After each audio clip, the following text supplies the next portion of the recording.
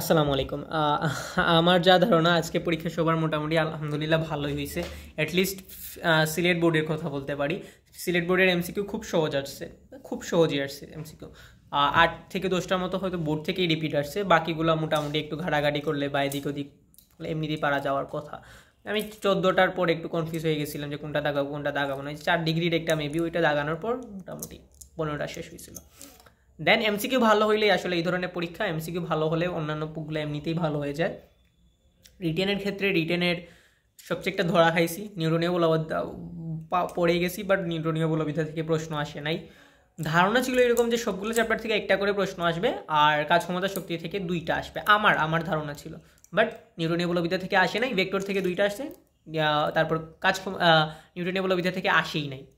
তো আবার ভেক্টরের ক্ষেত্রে কার ডাইভার্জেন্স আসছে? নদী নৌকার প্রশ্ন আসে নাই কিংবা ডট গুণন ক্রস গুণন আসে নাই। তো হোয়াট এভার জাস্ট ওই যে, সবচেয়ে মানে আশার আলো যেটা হচ্ছে যে, গাঠনিক ধর্ম ইজি প্রশ্ন আসবে জানি।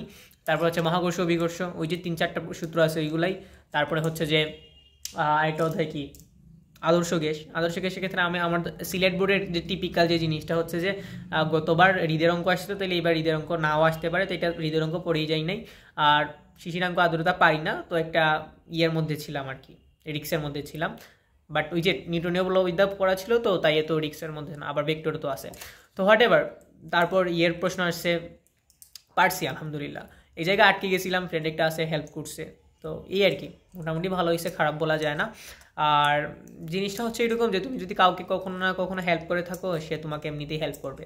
আর যে যে হেল্প করতে পারে, সে কখনো তোমার ক্ষতি করে না অ্যাটলিস্ট তো এমন এমন স্টুডেন্ট আছে যারা অ্যাটলিস্ট কিছুই পারে না। তখন তোমার যদি দেখা দেখি করে তাহলে তোমার ক্ষতি করবে। আর যে স্টুডেন্ট পারে বাট একটু তোমার ওই যে আশার আলো যে এটা জিনিস আছে না, তুমি যদি মনে করো যে ওকে বললা যে এটার লাইক এইটার তুই পি ইকুয়াল টু এনআরটি সূত্র দিয়ে করতে পারবি।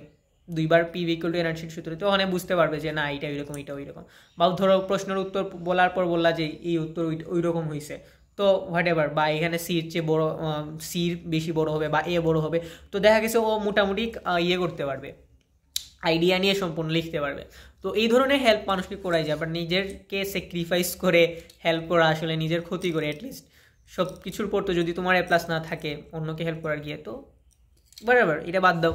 তো জিনিসটা হচ্ছে যে তো আমি এক সময় একটা ফ্রেন্ডকে হেল্প করছিলাম, ও আমাকে হেল্প করছে ফেস ফার্স্ট পেপারে যাই করুক, একটু ইঙ্গিত আঙ্গিত দিছে, যাই হোক, ভালো হয়েছে তো হোয়াট এভার আজকের পরীক্ষা খুব ভালো হয়েছে আর এই আর কি, এমনিতেই ভিডিও করা। আল্লাহ হাফেজ।